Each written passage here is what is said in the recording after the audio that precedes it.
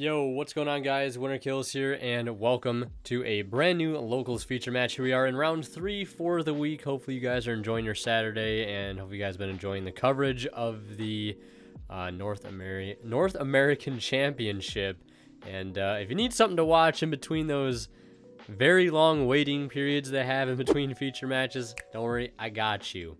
Here we have Dinomorphia on the left versus Mekk Knight Pure Mekk Knight on the right.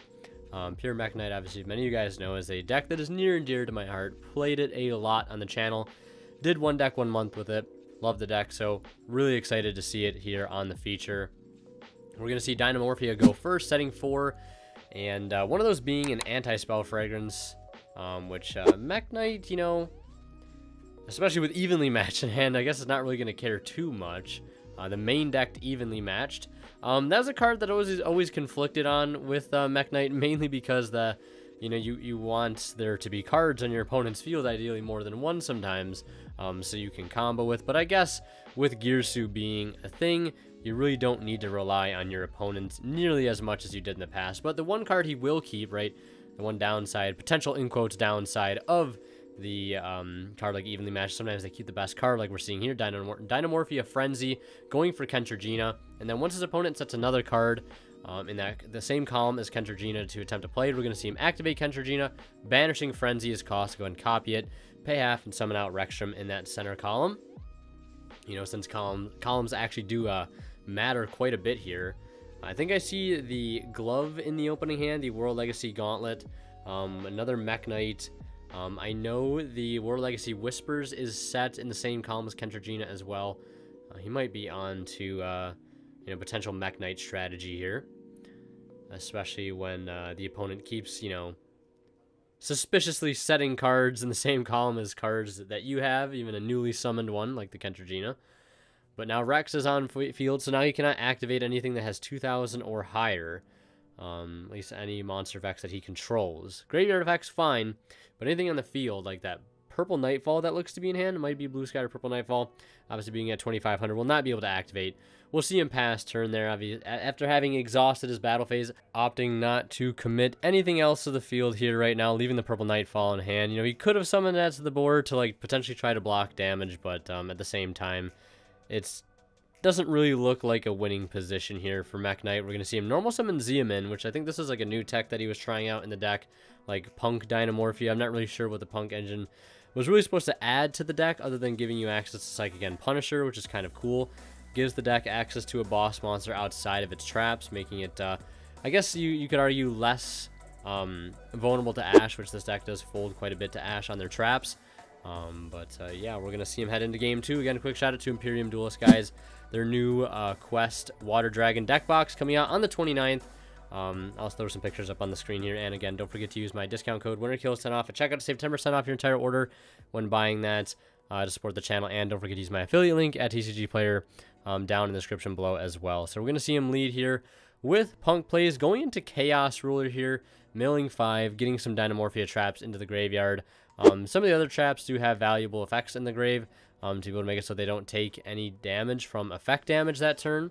Um, so that can come up, especially when you're really, really low in life points um, and you need to stop some sort of, you know, burn damage or in-engine burn damage the opponent's deck might have, which I don't think Mekk Knight really has any off the top of my head. Um, now, this is against something like Marincess um, or uh, Sword Soul. An effect like that is very, very clutch. We're going to see another evenly match here from our Mekk Knight player. That is going to force out a Solemn Judgment. Um, you know, you kind of got to hold everything else on the field. You can't afford to go that minus, uh, especially when you have Punisher up. That's something you want to keep. And the Anti-Spell. Like, Anti-Spell, not like the best card against um, Mekk Knight because they're going to be setting some of their spells anyways. And they just don't technically get to use them that turn. Um, but uh, yeah, pretty pretty okay sometimes. I think he set a copy of Succession in the same column as the uh, anti-spell, and obviously they could still give him an opportunity to play with other Mech Knights if he saw them. Um, doesn't really hinder the strategy too much, so we're just going to see our Dinomorphia player draw for turn, go into the battle phase with Punisher, and I don't think he opted to use Punisher's effect, because um, that Punisher would be pretty big. I think up to 7,800 swinging over the Girsu would have taken more damage than um, 17.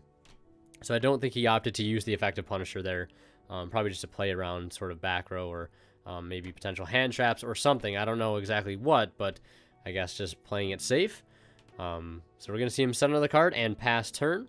Uh, we're going to see our Mekk Knight player lead with another copy of Girsu, dumping a copy of World Legacy. Um, what is it? Uh, I actually can't remember. It's not World Legacy Succession.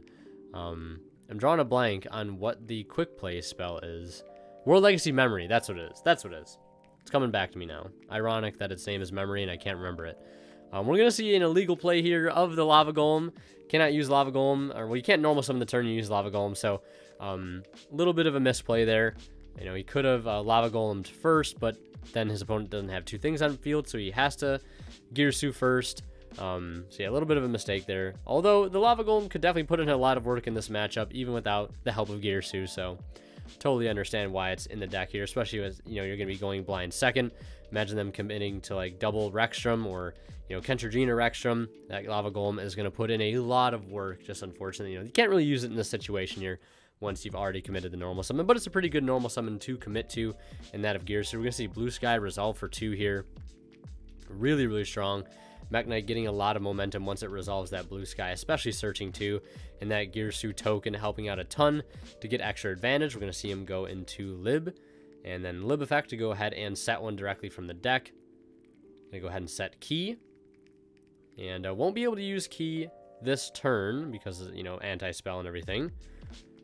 But the other set succession is viable, and I guess yellow clears the, the anti-spell anyways to be able to use, so He'll banish the Girsu. Key will help to add it back. And then we're going to see him link off blue and yellow into Morningstar. Morningstar will discard the glove. Go ahead and search.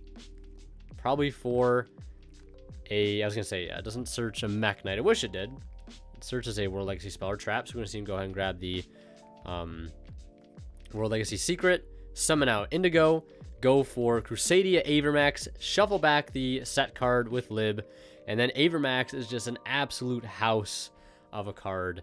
Um, Avramax can get over pretty much any special summon monster in the game, even Psychic End Punisher, because it does not affect it. We're see him, you know, go ahead and use the Succession, bring back the Morningstar. You know, that has its own unique abilities uh, on the field where I think your Mech Knights cannot be destroyed by battle, um, and you take no damage unless they are in the same column as a Mekk Knight. Um, so for whatever reason, he wasn't able to get over the Punisher with the um, Avramax, you know, he wouldn't take any damage and his Knights wouldn't be destroyed um, simply because of the continuous like effect of the Morningstar. Um, but uh, yeah, Avramax does have a pretty neat line of text on it. Anytime it battles a special summon monster, it just gains the attack of that special summon monster. Um, so it'll gain the 35, getting over it. Even if you use the battle phase effect, wouldn't matter. Still able to get over it. Because um, that happens at the start of the battle phase. Um, and you know chains resolve backwards, so it'd be chainlink one Avramax, chainlink to Psychic End Punisher if it were to work like that, you know, and it would still gain all that extra attack and get over it by 3,000 regardless. And then the rest of the Mech Knights clean up. We're into a game three situation. We're gonna see another evenly for Mekk Knight, third game in a row evenly. We're going to see him try to activate Domain here, keeping the best card for last. Obviously, there is an Ash to counter it, but Mekk Knight obviously not able to get much going there as he passes turn. No cards left on the field to be able to make columns with. And again, evenly matched, putting a lot of work in against this deck, but uh, it just sucks sometimes. You have to get rid of your columns and you can't play, but I guess at the same time, if your opponent's not playing, you know, I guess it's uh, kind of a win-win. Um, but yeah, we'll see if Dinomorphia can recover here. Gonna normal summon the copy of Diplos and activate its effect. Go ahead and send a Dinomorphia to the graveyard.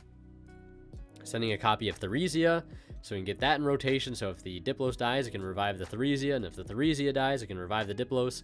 You know, help to block some battle damage. We'll get in for 15 with the Diplos, since I believe it has 15 attack. Set to and pass turn.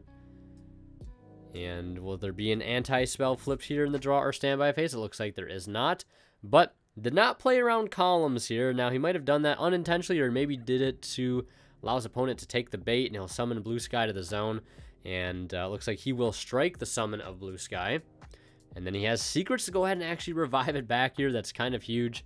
Um, I guess you could argue you could let him wait to use the effect. So in case he had something like secret, um, you know, he can't uh, just revive it back and use the effect again.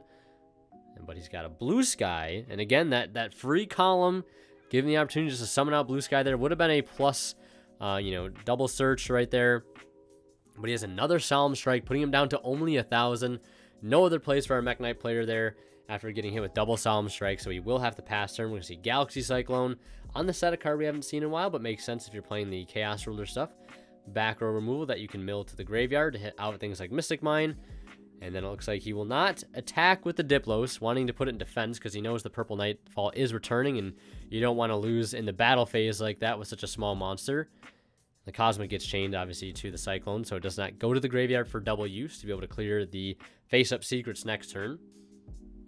So I would say that's a smart Cosmic. And then we're going to see the Blue Sky go at, or not the Blue Sky, the Purple Nightfall grab Blue Sky, set one, summon Blue Sky, and uh, yeah, this is looking like a rough spot here for Dinomorphia. Gonna go for the Girsu, which also doubles as an Orcust monster, Mekk Knight Orcust, right? So allow him access to Galatea, which gets him access to Dingirsu, which opens up the field to go for game, that does not allow him to summon back the Therizia, since I believe it has to be destroyed.